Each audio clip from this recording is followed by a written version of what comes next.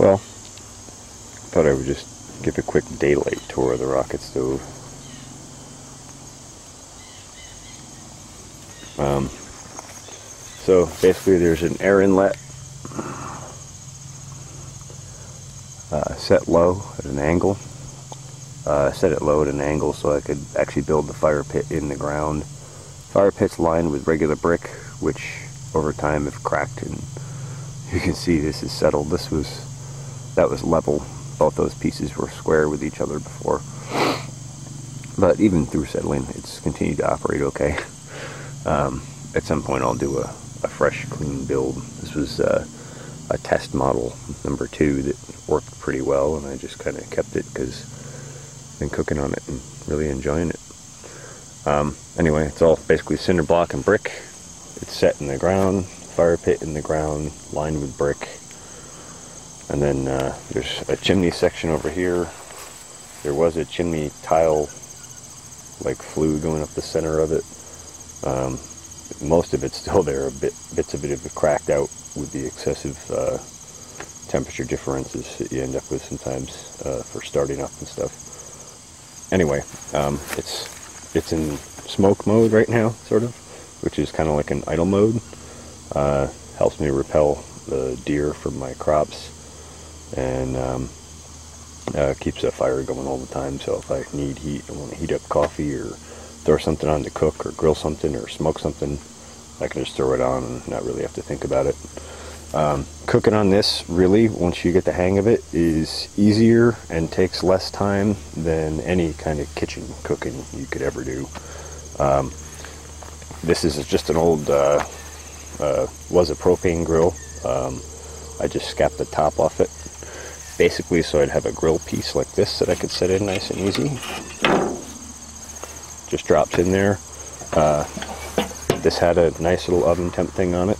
Um, usually when I'm cooking like chicken and potatoes or something, you know, like a dinner kind of thing, I run it between 350 and 400.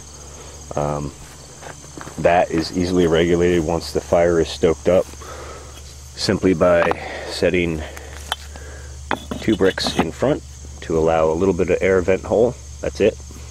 If I want to turn the temperature up, I slide this brick across. I can turn it up to 500, 600.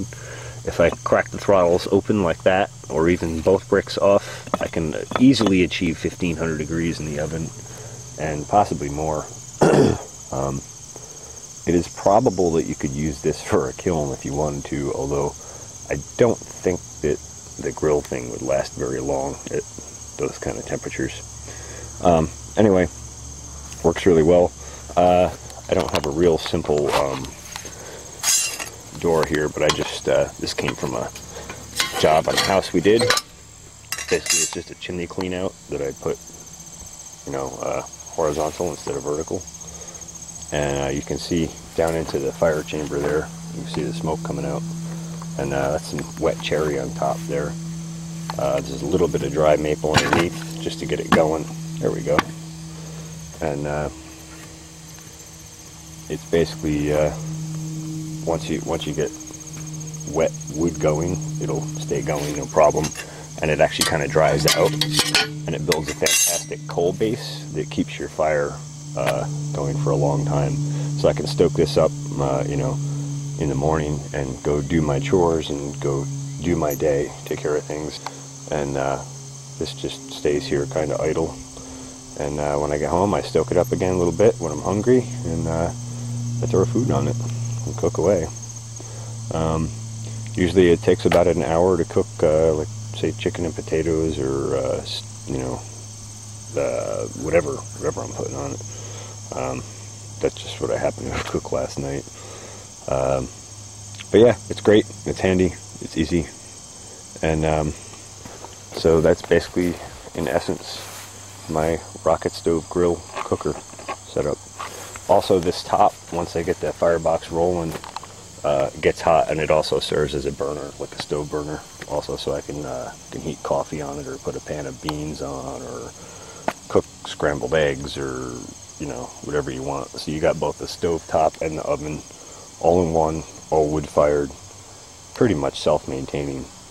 Um, I also put my eggshells in here I kind of collect them over here, and then when I get a bunch of them, I just throw them in the firebox with everything else. When I clean my ashes out, they all get spread out over my crop areas, and that gives my crops trace mineral nutrition, potassium, calcium, phosphorus, magnesium, manganese, zinc, on down the list of trace minerals. Um, and uh, it vastly improves my crop health. Um, yeah, so uh, serves many purposes. Costs very little to operate.